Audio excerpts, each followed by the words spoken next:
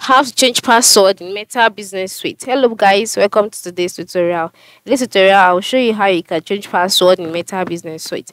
And before i go further i must let you know that um your meta business suite is not a dependent software or a site on its own. It is usually an offshoot of Facebook and in connection with Instagram.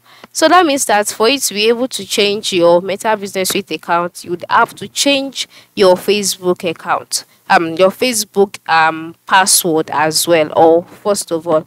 Now how do you do so? Once you're logged in into your Meta Business Suite account the next thing to do is to go ahead to your Facebook account all right? So once you're your Facebook account go to the top right corner and then click on your account itself. Not your Facebook page this time around but your Facebook account. So once you've switched and you are brought to the page ensure you navigate to your settings page just like I'm doing here.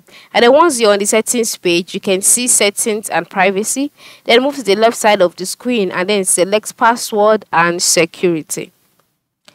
All right I'm sure you know how to navigate through your Facebook account very well. So just ensure that after you've logged in into your Facebook account, um, move to your settings and privacy page and then select password and security.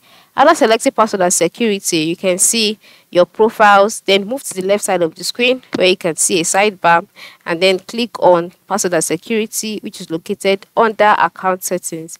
And then on the password and securities page, you can see the option change password. You just click on that and then you have to choose an account to make changes. Do you want to change your Facebook password or your Instagram account password?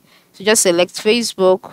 Since we are trying to deal with the Facebook page, and then go ahead and type in your current password, type in the new password. We type the new password, click on change password, and then just like that, your password will be changed. And as it is changed, it will also affect your Meta Business Suite, such that your Meta Business Suite's password would also be changed. So this is how you can change your password in Meta Business Suite. The major thing is to change your um, Facebook account password, and then you are good to go.